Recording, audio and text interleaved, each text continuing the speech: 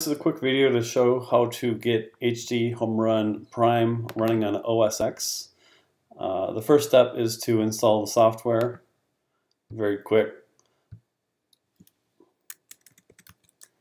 At the end of this process, it's going to run a discovery for the device in the network. If it's uh, the firmware is out of date, you'll try to upgrade it. Mine is up to date, as I've already run this before.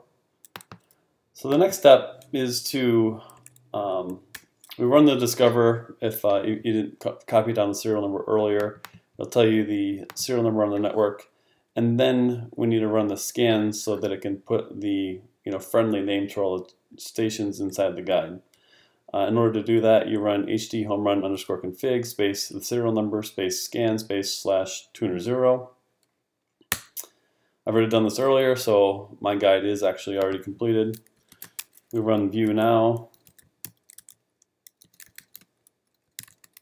course, it's not in my Finder yet. Um, so just run find it manually here in my applications menu.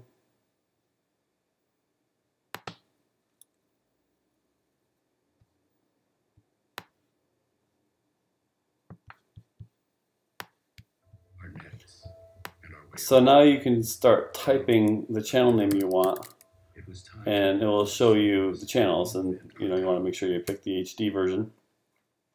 And you can see it's working. Hope this helps.